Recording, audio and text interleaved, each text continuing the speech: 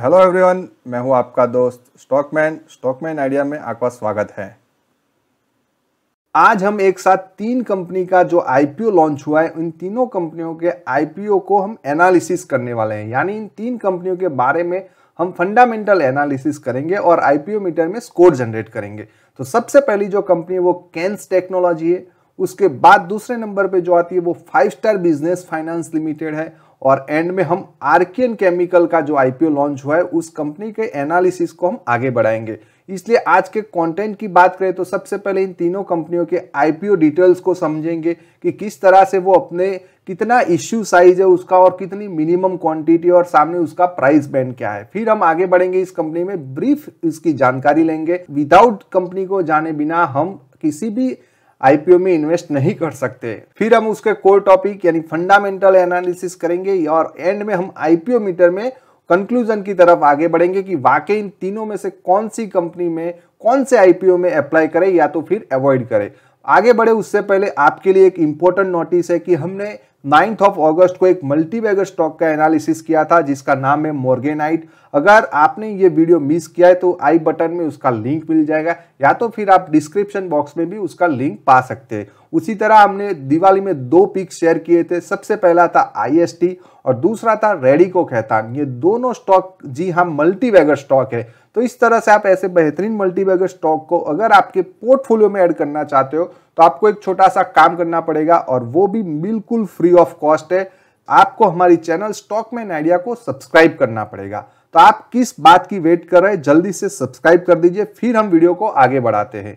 तो सबसे पहले अगर हम बात करें तो आज के पहला जो आईपीओ एनालिसिस है, वो है कैंस टेक्नोलॉजी ये कंपनी का जो आईपीओ है टेंथ ऑफ़ नवंबर से फोर्टीन ऑफ़ नवंबर के बीच में ओपन रहेगा।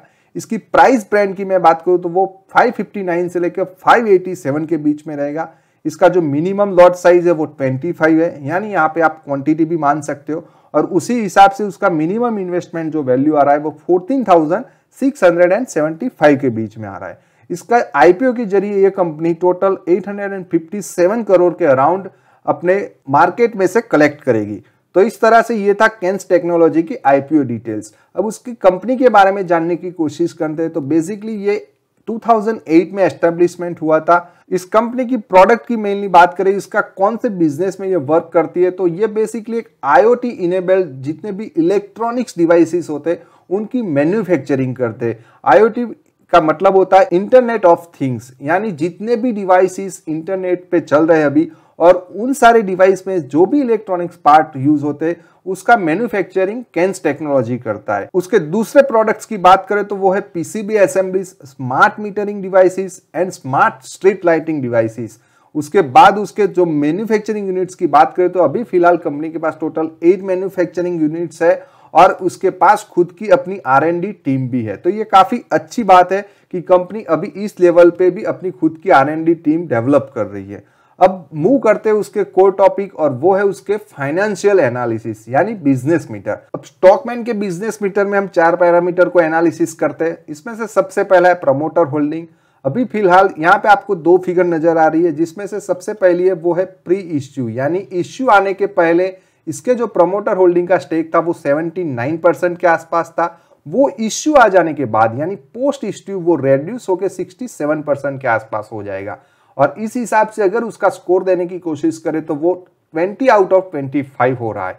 अब उसके दूसरे पैरामीटर की बात करें तो वो है डेट टू इक्विटी रेशियो। वो अभी फ़िलहाल कैंस टेक्नोलॉजी में पॉइंट एट वन है और इसके हिसाब से उसमें इसका स्कोर 10 आउट ऑफ़ 25 हो रहा है। तीसरे पैरामीटर की बात करें और मोस्ट इंपॉर्टेंट और वो है sales growth for the three years तो कैंस टेक्नोलॉजी पिछले तीन साल से 24 परसेंट के साथ अपने सेल्स को ग्रोथ कर रही है और ये काफ़ी अच्छी फिगर है। इसी वजह से इसमें इसका स्कोर मैक्सिमम 25 जनरेट हो रहा है। उसी तरह उसके प्रॉफिट ग्रोथ को भी देखना बहुत ज़रूरी है, क्योंकि प्रॉफिट ग्रोथ से हमें यह पता चलता है कि ऑपरेशनली कितना अच्छा परफॉर्म कर रही है। तो पिछले तीन साल के प्रॉफिट ग्रोथ की बात करें तो वो 64 परसेंट है सेल्स ग्रोथ से काफ़ी ज़्यादा है, और इसी वजह से इसमें भी इसका मैक्सिमम स्कोर 25 जनरेट हो रहा है। अब इन चारों पैरामीटर्स का क्यूमुलेटिव स्कोर देखें तो बिज़नेस मीटर में कैंस टेक्नोलॉजी 80 आउट ऑफ़ 100 का स्कोर जनरेट कर पा रही है। और ये कहीं ना कहीं बहुत ही अच्छा स्कोर है। जो हमारे रेगुलर व्यूअर है, सब्सक्राइबर है इनको मालूम है कि स्टॉकमैन के आईपीओ मीटर में 70 या तो फिर उससे ज़्यादा स्कोर जनरेट होता है तो स्टॉकमैन ज़रूर ऐसे आईपीओ में अप्लाई करता है। लेकिन यहाँ पे इसका सब्सक्रिप्शन स्टेटस और उसके पी रेशियो को समझना बहुत ज़रूरी है। तो यहाँ पे अगर उसके पी रेशियो की बात करें तो केंस टेक्नोलॉजी के प्राइस बैंड जो हमने पहले बात की थी, वो 559 से लेके 587 के बीच में अब उसके 559 प्राइस को कंसीडर करते हैं और उसके हिसाब से एक रफ फ़ी कैलकुलेशन करते हैं तो वो 46 के आसपास आ रहा है। अब ये जिस इंडस्ट्री में वर्क कर रही है, जैसे हमने पहले डिस्कस किया था कि एक इलेक्ट्रॉनिक्स मैन्युफैक्चरिंग कंपनी है तो उसी सेक्टर में अगर पी की बात करें तो वो कहीं ना कहीं सेम पी है इंडस्ट्री का। इसका मतलब तो ये होता है कि कैंस टेक्नोलॉजी ने इंडस्ट्री पी को ध्यान में रखते हुए अपनी प्राइस बैंड को रखा है। बट इन्वेस्टर बहुत उससे भी ज़्यादा स्मार्ट होते हैं। उसके सब्सक्रिप्शन स्टेटस में नज़र डालना बहुत ज़रूरी है, और वो नज़र डालने के बाद हमें ये लग रहा है कि इसमें जो इन्वेस्टर का इंटरेस्ट है, वो काफ़ी कम है। वो क्यों है? तो आप जैसे ही आप ये इमेज में देखोगे आप उसके टोटल सब्सक्रिप्शन फिगर पे नज़र डालोगे तो आपको नज़र आएगा कि अभी फ़िलहाल वो पॉइंट ज़ीरो सिक्स टाइम्स ही सब्सक्राइब हुआ है। और उसमें भी रिटेल इन्वेस्टर का जो इंटरेस्ट है वो काफ़ी कम नज़र आ रहा है। और ये सब चीज़ें हमें ध्यान में ज़रूर रखना चाहिए। तो यहाँ पे तीन चीज़ें हमने क्लियर समझ ली है। सबसे पहला उसका जो बिज़नेस परफॉर्मेंस था, जिसमें उसका स्कोर 80 के आसपास आ रहा था। दूसरा उसका जो सेम इंडस्ट्री का जो पी है, उसी पी के हिसाब से उसने अपने प्राइस को सेट किया है। और दूसरा सब्सक्रिप्शन स्टेटस तो इन तीनों चीज़ को ध्यान में रखते हुए, अभी फ़िलहाल कैंस टेक्नोलॉजी के आईपीओ मीटर में जो 80 का स्कोर हुआ है, उसके बावजूद भी स्टॉकमैन इस आईपीओ के लिए वेट करेगा। क्योंकि फंडामेंटल्स तो काफ़ी अच्छे हैं, लेकिन इतना सब्सक्राइब नहीं हुआ है। इसका मतलब है कि हो सकता है कि आपको लिस्टिंग डे पे गेन नहीं मिल सकता है। दूसरा, उसके प्राइस में करेक्शन आने के चांसेस बहुत ज़्यादा नज़र आ रहे हैं लिस्टिंग होने के बाद। या तो फिर इसका मतलब आप ऐसे भी समझ सकते हो कि आपको ये कम प्राइस में भी मिल सकता है। अगर आप लॉन्ग टर्म का सोच रहे हो तो हाँ तो लॉन्ग टर्म में ये ज़रूर अपने आप को रिटर्न जनरेट कर सकता है और इसी वजह से अभी फ़िलहाल आईपीओ में तो अवॉइड करना ही बेटर रहेगा। अब मूव करते दूसरे आईपीओ जिसका नाम था Five Star Business Finance Limited अब ये जो आईपीओ है वो टेंथ ऑफ़ नवंबर से लेके फोर्टीन ऑफ़ नवंबर के बीच में ओपन रहने वाला है। उसकी प्राइस बैंड की बात करें तो वो 450 से लेके 474 के बीच में रहेगा। उसका जो मिनिमम क्वांटिटी है वो 31 के पास है और उसी हिसाब से मिनिमम इन्वेस्टमेंट देखे तो वो 14,694 के आसपास है। और इस आईपीओ के ज़रिए ये कंपनी मार्केट से 1960 करोड़ को जुटाना चाहती है। लेकिन इस कंपनी के बारे में बात करें तो ये बेसिकली एक एनबीएफसी कंपनी है जिसका फाउंडेशन 1984 में हुआ था। एनबीएफसी का मतलब होता है कि नॉन बैंकिंग फाइनेंशियल कंपनी यानी बैंक के अलावा जितने भी फाइनेंशियल कंपनीज़ होती है, उसको एनबीएफसी में कंसिडर करते हैं। अभी एक कंपनी का जो पोर्टफोलियो है, वो मेनली जो माइक्रो ऑन्टरप्रीनियर्स है, या तो फिर जो सेल्फ एम्प्लॉयड है, उनको खुद मतलब अपना बिज़नेस रन करना है तो उनको ये बिज़नेस लोन प्रोवाइड करती है। ये अगर 2017 से लेकर 2021 की बात करें तो ये इसमें फास्टेस्ट ग्रोइंग एनबीएफसी कंपनी भी थी। अभी उसके प्रेजेंस की बात करें तो वो उसका मेन जो उसका बिज़नेस है, वो साउथ इंडिया में नज़र आ रहा है। अब उसके मेन कोर टॉपिक पे मूव करते हैं, जिसका नाम है अपना बिज़नेस मीटर तो Five Star Business Finance Limited का जो आईपीओ है, उसके बिज़नेस मीटर में हम चार पैरामीटर को स्टडी करेंगे। सबसे पहला प्रमोटर होल्डिंग यहाँ पे 40 परसेंट जो फिगर है, वो बेसिकली प्री इश्यू है। यानी आईपीओ आने के बाद माफ़ कीजिएगा आईपीओ आने से पहले उसमें जो प्रमोटर होल्डिंग था वो 40 परसेंट था और आईपीओ आने के बाद वो रेड्यूस होकर 33 परसेंट हो जाएगा। और ये स्टॉकमैन के हिसाब से थोड़ा कम है प्रमोटर होल्डिंग और इसी वजह से इसमें इसका स्कोर 10 आउट ऑफ़ 25 हो रहा है। दूसरे पैरामीटर की बात करें तो वो डेट टू इक्विटी रेशियो है। अभी फ़िलहाल वो पॉइंट है और इसी वजह से इसमें इसका स्कोर जनरेट हो रहा है fifteen out of twenty sales growth for the three year की बात करें तो वो काफ़ी अच्छा ग्रोथ कर रही है और स्पेसिफिक 46 परसेंट के साथ वो अपने सेल्स को बूस्ट कर रही है। और इसी हिसाब से इसमें इसका स्कोर हो रहा है 25 आउट ऑफ़ 25 उसके प्रॉफिट ग्रोथ की बात करें तीन साल से तो वो भी तकरीबन सेल्स ग्रोथ के हिसाब से ही ग्रोथ हो रहा है और स्पेसिफिक 43 परसेंट के साथ अपने प्रॉफिट को ग्रोथ कर पा रही है। इसमें इसका भी मैक्सिमम स्कोर 25 हो रहा है। अब इन चारों पैरामीटर का क्यूमुलेटिव स्कोर देखें और बिज़नेस मीटर में उसको काउंट करें तो अभी फ़िलहाल उसमें इसका स्कोर 75 आउट ऑफ़ 100 हो रहा है। यानी ये कहीं ना कहीं फंडामेंटली तो काफ़ी अच्छी नज़र आ रही है। लेकिन हमें पी रेशियो को ज़रूर देखना चाहिए। तो उसके प्राइस बैंड में जो मिनिमम क्वांटिटी माफ़ कीजिएगा, जो मिनिमम प्राइस है 450 के हिसाब से अगर एक रफ पी कैलकुलेट करने की कोशिश करें तो अभी फ़िलहाल वो 28.7 आ रहा है। अब उसके सेम इंडस्ट्री की पीए की बात करें तो वो 26 के आसपास है। यानी उसने कहीं ना कहीं इंडस्ट्री पी से थोड़ा ज़्यादा अपने प्राइस को रखने की कोशिश की है और उसके सब्सक्रिप्शन स्टेटस में नज़र डाले तो सब्सक्रिप्शन स्टेटस में जैसे हमने केंस टेक्नोलॉजी में देखा सेम रिपीट उसके Five Star Business Finance company पे भी हमें नज़र आ रहा है। क्योंकि इसमें भी रिटेल इन्वेस्टर में इतना ज़्यादा सब्सक्रिप्शन हमें नज़र नहीं आ रहा है और उसके total subscription amount point zero times ही हुआ है।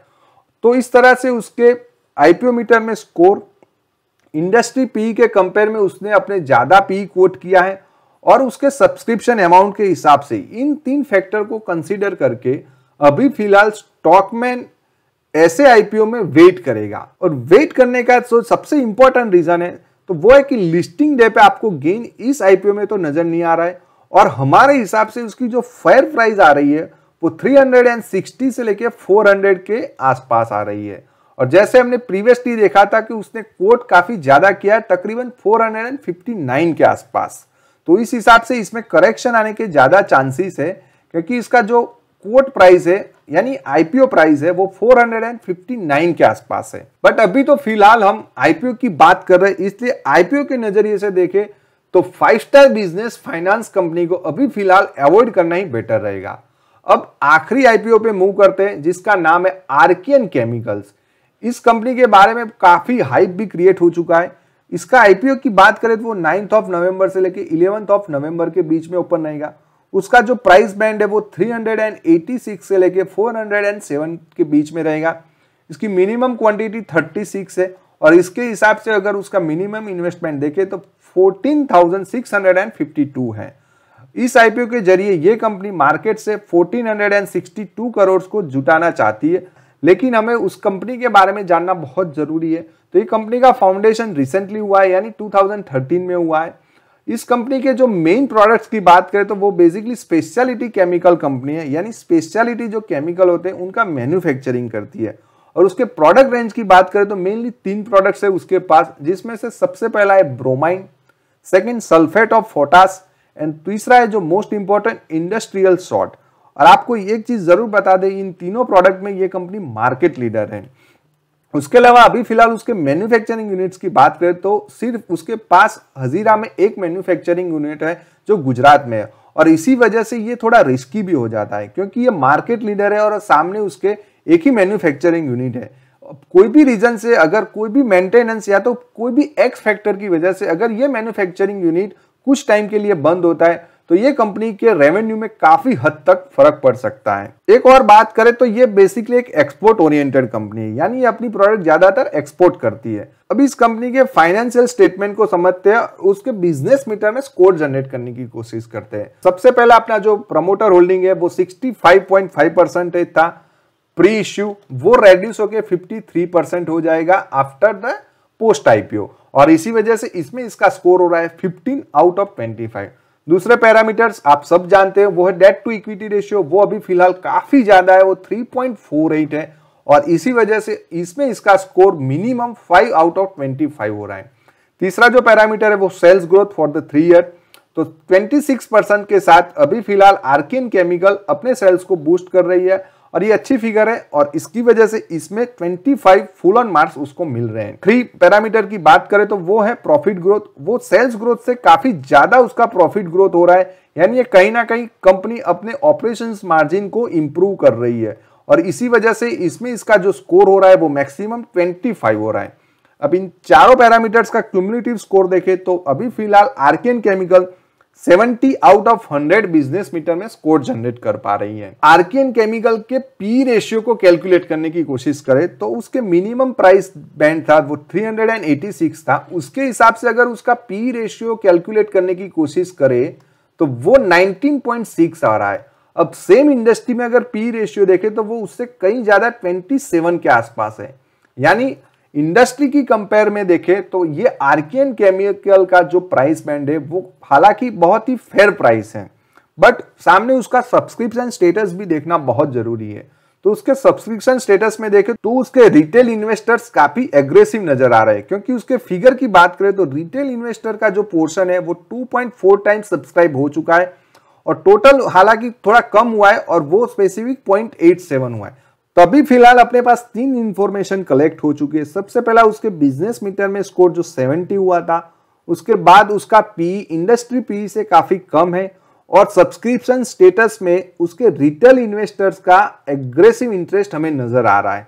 और इन तीनों चीज़ को ध्यान में रखते हुए स्टॉकमैन आर्कियन केमिकल के आईपीओ में अप्लाई करने का सोच सकता है। क्योंकि हो सकता है कि लिस्टिंग डे पे हमें गेन मिलने के चांसेस ज़्यादा नज़र आ रहे हैं और लॉन्ग टर्म के नज़रिए से देखें तो जैसे हमने देखा था, वो तकरीबन 1900 करोड़ के आसपास ये आईपीओ के ज़रिए वो मनी कलेक्ट करने वाला है। और वहाँ पे उसका जो डेट टू इक्विटी रेशियो था, जैसे हमने पहले देखा तो वो 3.6 के आसपास था। यानी अगर ये 1900 करोड़ अपने डेट को पे करने में यूज़ कर सकता है तो उसके ऑपरेशन मार्जिन और अल्टीमेटली नेट प्रॉफिट काफ़ी राइज हो सकता है। और इसी वजह से आर्किन केमिकल हमें लॉन्ग टर्म का स्टॉक तो नज़र आ रहा है। तो इसलिए इसमें अभी फ़िलहाल गो सिग्नल हम दे रहे हैं। तो इस तरह से हमने तीन आईपीओ का इनडेप्थ एनालिसिस किया है। इन तीनों आईपीओ का समरी आपके लिए स्क्रीन पे हमने शेयर कर दिया है। आप वीडियो को पॉज करके स्क्रीनशॉट लेके अपने फ्रेंड्स या तो फिर अपने रिलेटिव्स को ज़रूर शेयर करना, क्योंकि आपको एक ही स्क्रीन में इन तीनों आईपीओ का एनालिसिस मिल जाता है। तो इस तरह से ऐसे बेहतरीन आईपीओ को अगर आप रिव्यू करना चाहते हो, या तो फिर मल्टीवैगर स्टॉक को आपके पोर्टफोलियो में ऐड करना चाहते हो तो फिर से रिक्वेस्ट है, आपको स्टॉकमैन आइडिया जैसी चैनल को सब्सक्राइब ज़रूर करना चाहिए।